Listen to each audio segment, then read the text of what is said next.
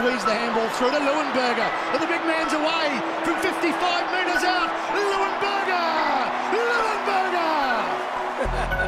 Yeah, it is a little bit frustrating. I mean, initially it was only meant to be, I think, a six-week injury. Blew out to eight weeks to 12. It's just sort of been ongoing. Um, the date to return just keeps getting pushed back. So it's been a frustrating year in that sense that um, I, th- I, mean, I thought I'd be back playing halfway through the year and it hasn't worked out that way. And uh, unfortunately, now I'm going to miss the year. So yeah, it has been frustrating in that sense. Predominantly, the most important thing in my rehab process has been strengthening the tendon.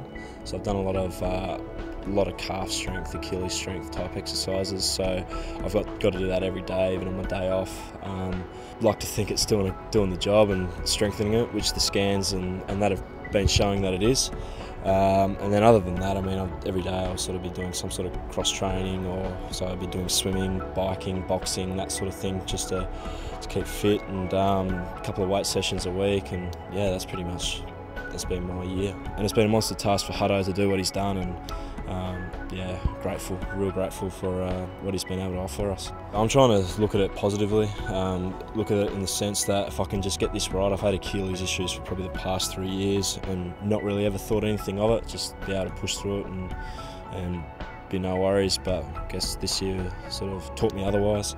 Um, so I'm really going to try and knuckle down, focus on getting my Achilles right so that I can sort of come into the pre-season, um, hit the ground running, do everything I need to do to get right and get back and play the footy I think I can play in 2013.